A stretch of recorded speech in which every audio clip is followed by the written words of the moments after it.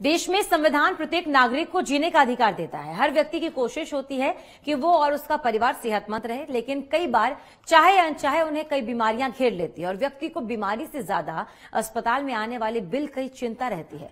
प्रधानमंत्री नरेंद्र मोदी की ओर से आयुष्मान भारत प्रधानमंत्री जन आरोग्य योजना प्रारंभ की गई है। इसके अंतर्गत उत्तराखंड प्रदेश के लगभग पाँच लाख परिवारों को गंभीर बीमारी के इलाज के लिए प्रतिवर्ष पाँच लाख रुपए तक की निःशुल्क चिकित्सा सुविधा उपलब्ध कराई जा रही है। पहाड़ों में पलायन और किसानों को उनके उत्पादों का उचित मूल्य न मिलने की परेशानी दशकों पुरानी है। इन्हीं दशकों पुरानी समस्या का समाधान करते हुए मुख्यमंत्री श्री त्रिवेंद्र सिंह रावत ने जलागम प्रबंधन विभाग की ओर से संचालित ग्राम्या दो परियोजना के अंतर्गत एग्री बिज़नेस ग्रोथ सेंटर की शुरुआत की है। एग्री बिज़नेस ग्रोथ सेंटर के द्वारा किसान अपनी किसान संबंधी समस्याओं का हल भी पा सकते हैं।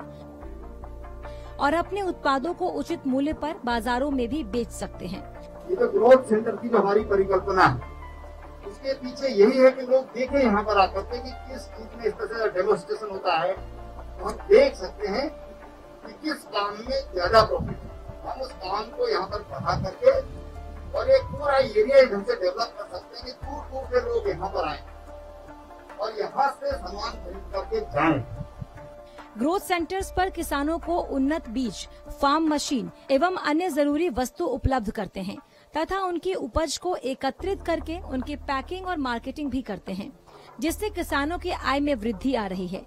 पूरे उत्तराखंड राज्य में लगभग हर न्याय पंचायत स्तर पर ऐसे लगभग 100 एग्री बिज़नेस ग्रोथ सेंटर्स खोले जा रहे हैं। स्थानीय उत्पादों की राष्ट्रीय एवं अंतर्राष्ट्रीय बाजारों में डिमांड को देखते हुए और खेती का सदुपयोग करते हुए सभी ग्रोथ सेंटर्स को अलग कॉन्सेप्ट पर बनाया जा रहा है। जो भी उत्पादन गाँव में होते हैं, उन्हें हम यहाँ ग्रोथ सेंटर में बेचते हैं क्योंकि यहाँ जो गाँव में थोड़ा बहुत माल आता था, वो लोग मंडी में पहुँच पाते थे, गाँव में ही सरता था। इसलिए हमने यहाँ पे एक ग्रोथ सेंटर जलागम द्वारा बनाया, जिसमें लोग थोड़ा से भी माल यहाँ गाँव में पहुँचा यहाँ ग्रोथ सेंटर में पहुँचाते हैं और अपना पूरा मूल्य लेकर घर जाते हैं। स्थानीय उत्पादों जैसे कि मंडुआ, कौड़ी, झंगरो, लाल चावल, मक्के का आटा, चुल्लू का तेल, बुरांस, पुदीना, माल्टा, नींबू, आंवले का जूस, अचार आदि की ग्रेडिंग, प्रोसेसिंग, पैकेजिंग कर मार्केटिंग की जाती है।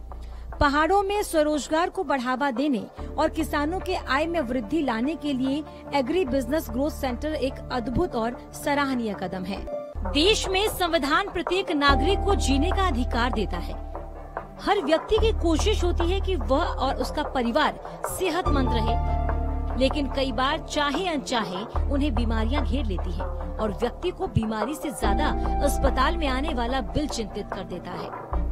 आदरणीय प्रधानमंत्री श्री नरेंद्र मोदी जी द्वारा आयुष्मान भारत प्रधानमंत्री जन आरोग्य योजना प्रारंभ की गई है, जिसके अंतर्गत उत्तराखंड प्रदेश के लगभग पाँच लाख परिवारों को गंभीर बीमारी के इलाज हेतु प्रति वर्ष पाँच लाख रुपए तक की निशुल्क चिकित्सा सुविधा उपलब्ध कराई जा रही है इस योजना को और आगे बढ़ाते हुए आदरणीय मुख्यमंत्री श्री त्रिवेंद्र सिंह रावत द्वारा अटल आयुष्मान उत्तराखंड योजना प्रारंभ की गई। जिसमें लगभग 18 लाख और परिवारों को भी अब प्रति वर्ष 5 लाख रुपए की निशुल्क चिकित्सा सुविधा उपलब्ध कराई जा रही है।